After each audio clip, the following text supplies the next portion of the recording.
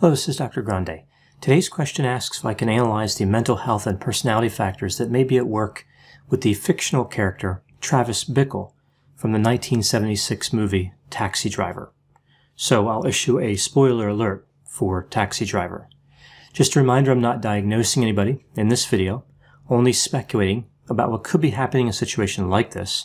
If you enjoy this video, please like it, subscribe to my channel, and consider supporting me on Patreon I'll put the link to Patreon in the description for this video. So I'll start here with a summary of the movie, and then I'll move to the mental health and personality factors. So moving to the summary. Travis Bickle is a 26-year-old former United States Marine who lives in New York City. He served in the Vietnam War and was honorably discharged in May of 1973. He describes his educational level as some here and there. So I take that to mean a fairly low educational level. Bickle takes a job driving a taxicab overnight because he believes it'll help him cope with his insomnia. He works quite a bit, sometimes for 12 hours at a time. He works six to seven days a week. He has a number of mental health problems in addition to the insomnia, including depression, anger management problems, social awkwardness, and paranoia.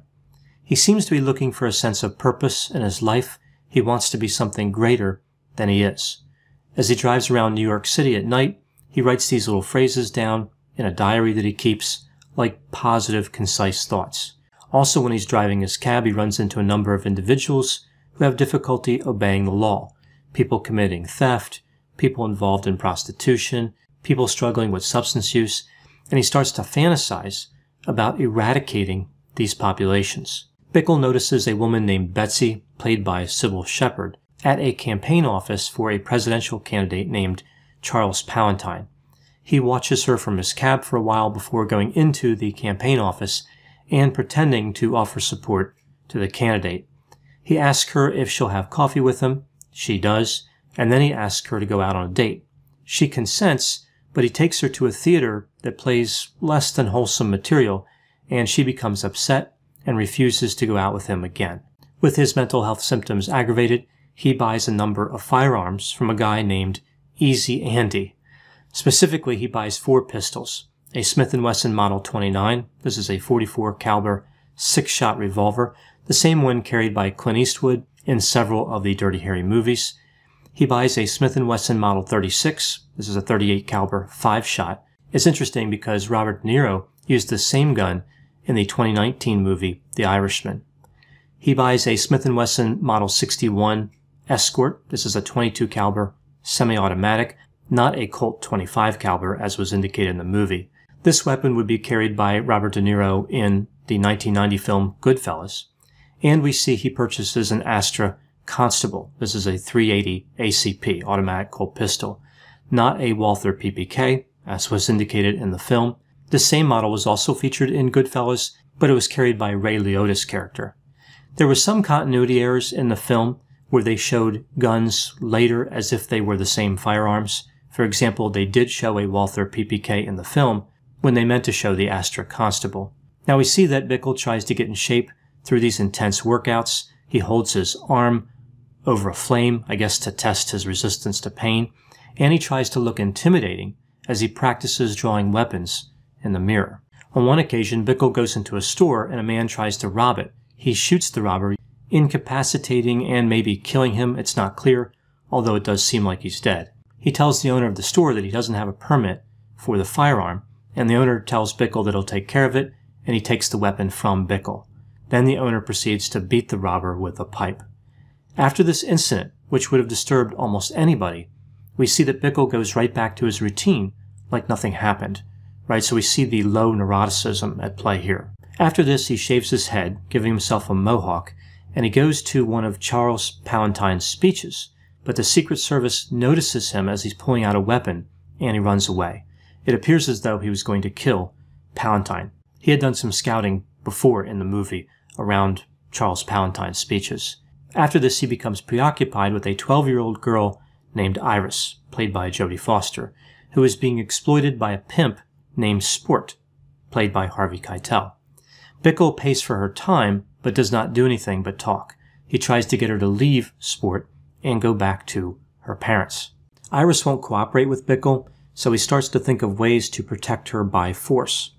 Bickle returns to the building where Iris works, shoots Sport in the stomach with the 38, then enters the building and shoots one of the bouncers with the 44 Magnum, blowing off four of the bouncer's fingers. Sport, even though he's wounded, manages to point his own 38 caliber revolver at Bickle from behind and shoot him in the neck. He's using a Smith & Wesson Model 10. That's the same firearm used by that robber. Bickle shoots Sport with the 44 Magnum, drops that weapon, switches back to the 38, and shoots the bouncer in the body. Bickle is ascending the stairs when the bouncer comes up and confronts him. Bickle points the 38 at him, but does not fire. Now, as this is going on, Iris's customer, a mobster, is overhearing this commotion, and he comes out of Iris's room and fires a shot into Bickle's upper right arm at point blank range with a 38. This was also a Smith & Wesson Model 36, but it was blued instead of nickel plated. This causes Bickle to drop his 38. Bickle then deploys this slide mounted 22 caliber automatic. So he had put this on a drawer slide so he could fit it up his sleeve. He fires this several times at the mobster, killing him. The bodyguard is still yelling at him and grabbing at him. Bickle stabs him with a knife that he had taped to his boot, then uses the mobster's 38 caliber to kill the bouncer with a single shot to the head. He takes that same revolver and tries to end his own life, but it is out of ammunition, as is his 22 caliber automatic, even though if it was really out of ammunition, the slide would have locked back, and in the movie the slide is still forward.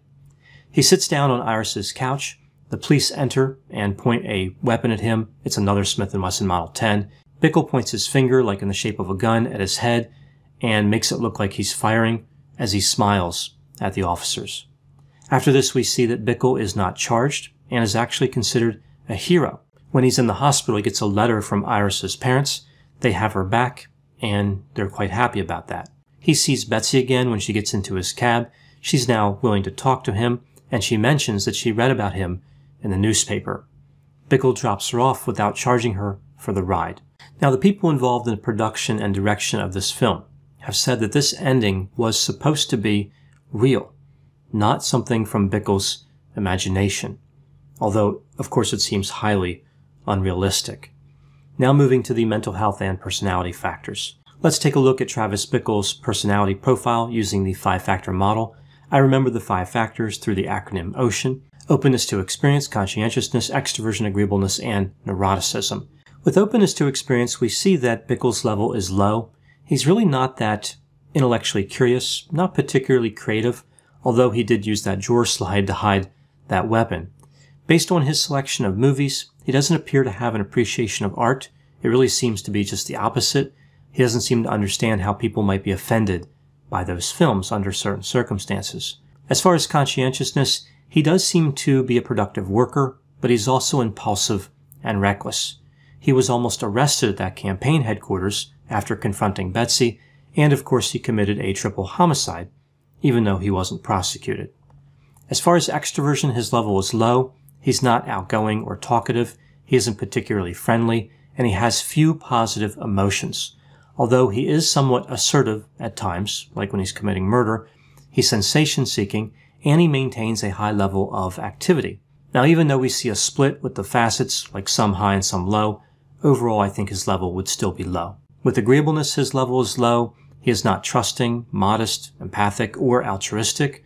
On the other hand, he is straightforward, almost to a fault, but his overall score would be low as I indicated. Now with neuroticism, his level is mid-range.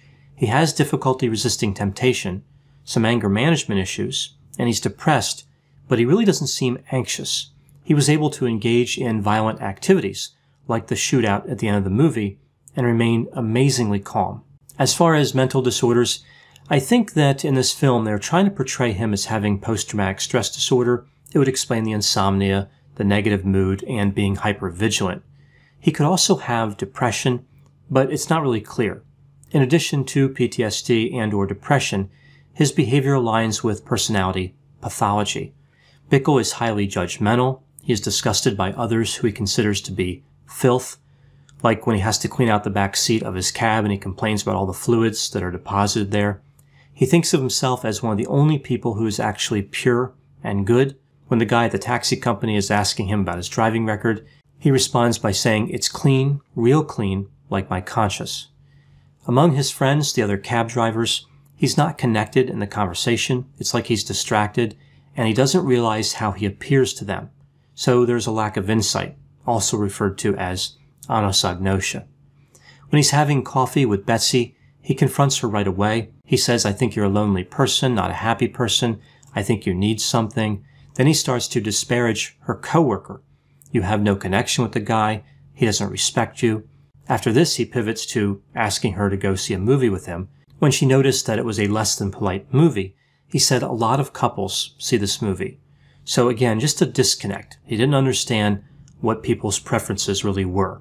He wasn't good at empathizing. During his encounter with Palantine when Palantine was riding in Bickle's cab, Bickle doesn't really seem to realize how disturbing his narrative was.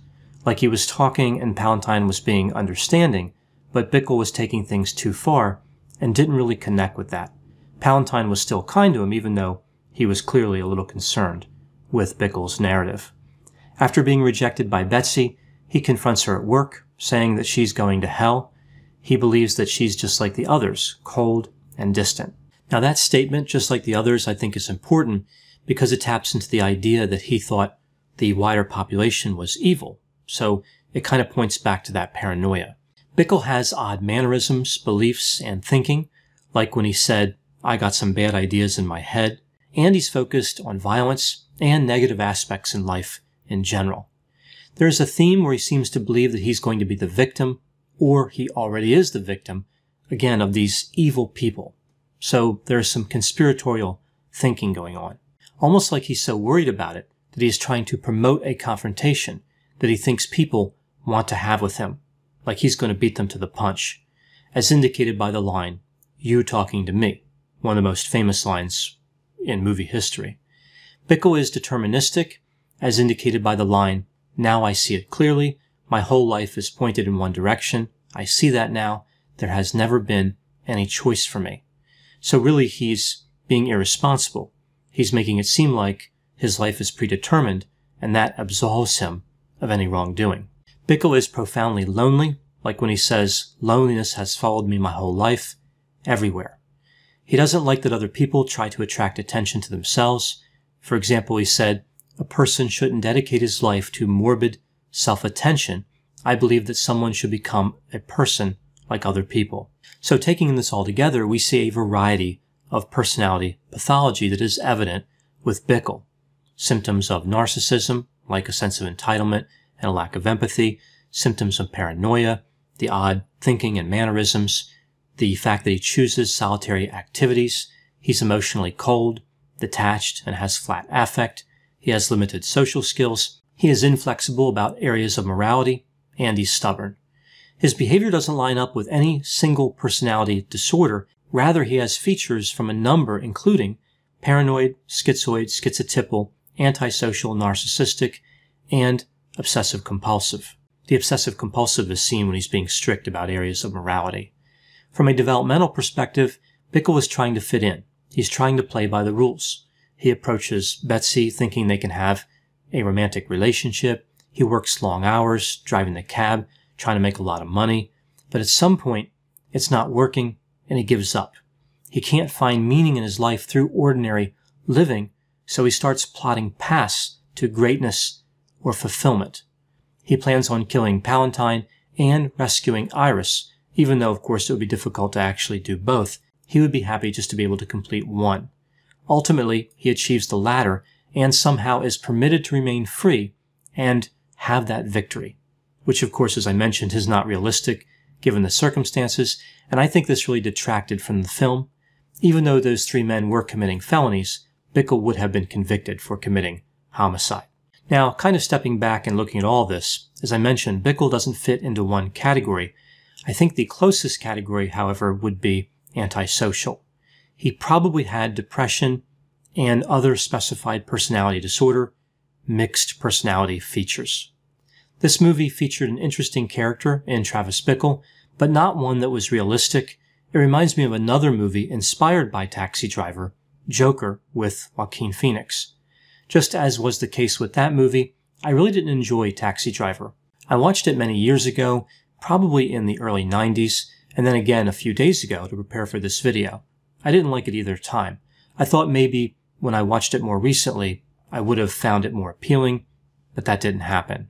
There were aspects of the movie that I did like. The setting, New York City, and the cinematography was pretty good. It was the mental health part that I felt didn't work. I believe that was a key component for a movie like this. So if they can't get that dialed in, the movie is going to misfire. Which I think is a fitting way to put it, considering they really couldn't seem to get anything right with the firearms either, right? So we see quite a few weaknesses in this film, but as I mentioned again, an interesting character that did have a development over the course of the movie that was somewhat compelling. Those are my thoughts on Travis Bickle from Taxi Driver. Please put any opinions and thoughts in the comments section. They always generate an interesting dialogue. As always, I hope you found my analysis of this topic to be interesting. Thanks for watching.